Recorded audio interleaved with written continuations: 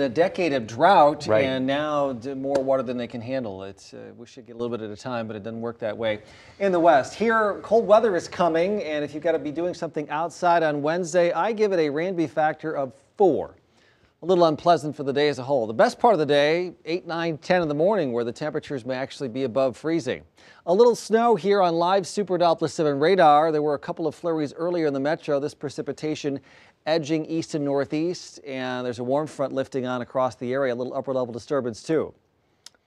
So there's that, and then there's this. You see this swirl out here? This is forecast to take its time, get caught in the jet stream, move into the southwest, prolong the rains down there, then eventually move into the nation's midsection, producing snow and rain.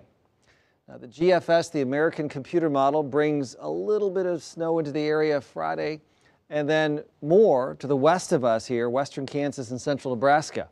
But it brings a lot of moisture our way. This is the impact of moisture, and it suggests nearly an inch of moisture, but not much of that with snow, which means it's either going to be rain or freezing rain. Temperatures will be right around 32. This is the GFS computer model's ice forecast. So by midday Sunday, not much will have happened, but starting to occur to the south of us, and that moves northward.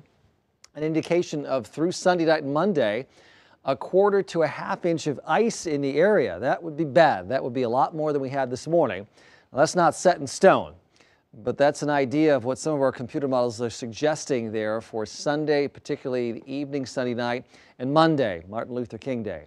Temperatures above freezing in the morning, falling in the afternoon tomorrow. 29 now, winds have turned to the east southeast, and temperatures actually will rise a bit overnight.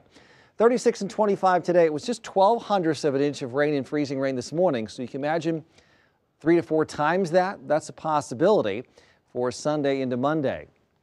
Above freezing for a time today, now down slightly below freezing. And that's true of much of the viewing area. Beatrice is still 33, but a lot of spots in the 20s, northeast Nebraska, western Iowa, where there are some flurries. Again, this warm front is lifting on through, taking those flurries with it. Here comes this Arctic cold front. 8 a.m. tomorrow. It's not here yet. Pretty mild for a couple of hours in the morning. Then the north winds start blowing late morning. The afternoon temperatures fall. Could get a few flurries or a little patch of light snow to come through tomorrow night. And then more cold air comes southward and some clouds mixed in here on Thursday. Very chilly weather. Here's the forecast for tonight. 28 the low. We were already there. Temperatures rising a bit overnight. 34 by 8 a.m. A decent start. The afternoon colder.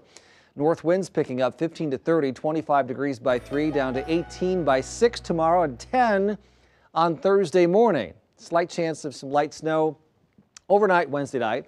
Again, possibly briefly on Friday. Look at the cold temperatures. And then it's that moisture. Again, the computer model suggests half an inch to an inch oh, of moisture with temperatures near freezing. We want 34. We don't want 32 because